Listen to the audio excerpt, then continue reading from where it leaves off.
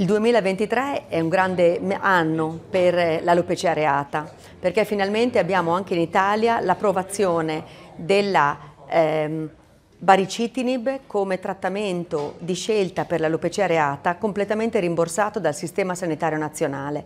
Cosa vuol dire? L'alopecia areata la conosciamo tutti, cadono i capelli in chiazze improvvisamente, in bambini o in adulti si formano delle chiazze tonde senza capelli o a volte cadono le ciglia, le sopracciglia, i peli della barba. Nelle forme gravi tutto cade, quindi ci si ritrova nel giro di qualche settimana completamente sprovvisti di ogni pelo e capello. Quindi l'impatto psicologico facilmente comprensibile nei bambini e negli adulti, la difficoltà enorme nei rapporti sociali e professionali e finalmente la risposta. Risposta che è stata data inizialmente dall'FDA, poi dall'EMA e adesso dall'AIFA, ovvero capire che, accettare che l'alopecia areata è una malattia autoimmune, non è una malattia da stress e abbiamo un rimedio, il baricitinib che è un farmaco eh, della categoria degli inibitori delle Janus chinasi che assunto tutti i giorni per via orale alla dose di 4 mg ha dimostrato di fare ricrescere i capelli e i peli in un modo cosmeticamente accettabile, quindi rimangono pochissime aree senza capelli o il 100% dei capelli e peli ricresce